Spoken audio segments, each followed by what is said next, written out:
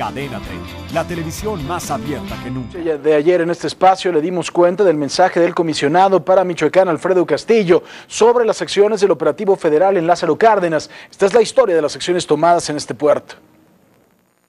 119 mil toneladas de mineral de hierro y 124 unidades de maquinaria pesada fueron decomisados de manera precautoria en nueve patios de acopio ubicados en el puerto de Lázaro Cárdenas y límites con el estado de Guerrero. Dicho operativo se realizó para verificar la legalidad del mineral, principalmente exportado a China, señaló Alfredo Castillo Cervantes, comisionado para la seguridad y el desarrollo integral de Michoacán. Los patios de acopio estaban siendo utilizados para almacenar una gran cantidad de material que podría ser de procedencia ilegal por no contener los permisos y la documentación correspondiente que avale su extracción, almacenamiento y exportación. El funcionario detalló que se tomaron muestras del mineral para verificar la procedencia del mismo.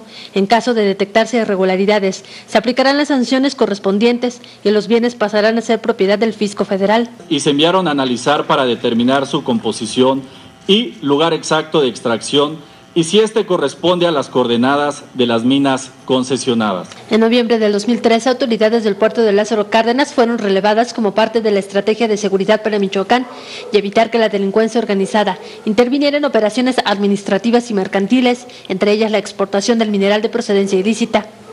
Informó Amanda Bautista Rodríguez. Suscríbete a nuestro canal de YouTube para que siempre estés informado de las últimas noticias de México y el mundo. Empieza ahora mismo dándole clic a estos videos.